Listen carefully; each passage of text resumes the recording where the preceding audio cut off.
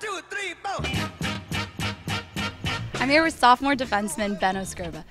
Ben, tell us a little bit about your mustache and what inspired it. Ah, you know, it's Movember and uh, all the boys are doing it. Uh, well, obviously we're doing it for a good cause. I'm not doing it because I think it looks good or I haven't grown it out this much ever. Uh, my first two weeks were solid. Uh, the hair was growing in, but it seemed to have like stopped after two weeks. I got blonde hair originally, so I had to make sure I dyed it to make sure uh, everyone could see it, and uh, yeah, just it's really really taken off.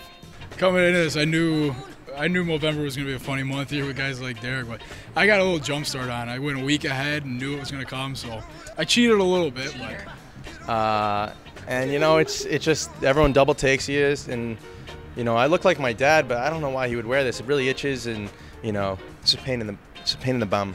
But who has the best mustache on the team? Oh, I would love to take credit for it, but uh, actually, I think Brian Mountain or Colton Saucerman. Got to give it a sauce.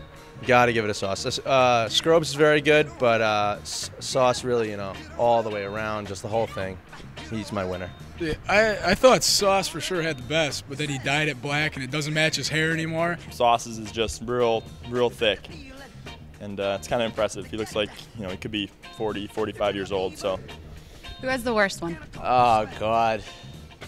I think for players it has to go to uh, Ben Ostroba or me. But we got some creepy ones. I know Vermes looks pretty creepy. Um, I I don't know who has the worst. We got some bad ones though. I think Scrubs is really creepy.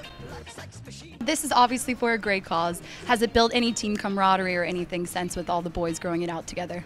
Definitely. Uh, I feel, you know, everyone, you know, gets made fun of for their mustache and, you know, gets talked up for their mustache. So it definitely brings everyone together, and it's definitely for a good cause. So that's a good thing. Yeah, it's definitely helps helps uh, build a little team chemistry and make you know poke some jabs at each other. Yeah, I think uh, the guys uh, know it's a good cause going up for Movember, and uh, I think everybody gets a good laugh at seeing each other walk in every day with uh, something new.